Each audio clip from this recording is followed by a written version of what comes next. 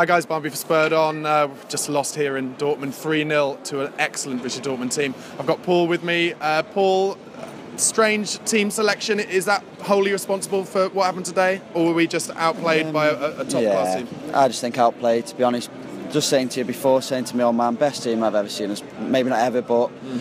for a long time, best team, team I've ever seen us play. Pass the ball, move the ball forwards pressed us high up the pitch, two v ones left, right. Just I just don't think we could live with them, to be honest. Yeah, and, and, had we had we put out our first team, you know, how do you think that match would have would have changed? How, how would it have been different? I don't know. Maybe I don't know. It's hard to say, but yeah. the, for me, I was saying to my old man as well. All Europa League. I'm not blaming Pochettino. He's played his best team all through the group stages.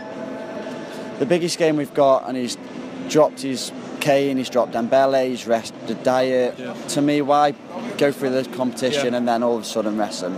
Without so, blaming Pochettino. So it's clear, you know, I think we mentioned before, it's clear that he's kind of put his eggs in the in the title yeah, basket. Which I can't sort of blame him, I suppose, but is it too little too late for that as well now? I mean, a few weeks ago, FA Cup, challenging for the league, yeah. still in a good position in this. All of a sudden, out the FA Cup, 3 0 behind in this, five points behind, now I'm just going to go. The worry I have is is that momentum is such a huge thing in oh, football. And, and definitely. you know, Three the games. press, you know, certainly if we don't beat Villa, you know, the press will start talking yeah. about, you know, Pochettino's history of, of tiredness setting in and stuff like yeah, that. Yeah, definitely. Last 10 games, look at Pochettino, like you say, last few years, we sort of tired towards the end of the season.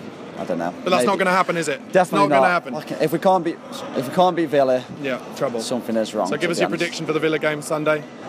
4 0 Tottenham, like the Carling Cup the other year. We've got to beat Villa. We've got to beat Villa. Yeah, you're right. Come okay, on. We're not that bad, honestly. Let us know what you thought of Paul's comments in the comment section below. Uh, let us know your predictions for the Villa game, and don't forget to subscribe to the channel, YouTube, follow us on Twitter at Spurred on TV.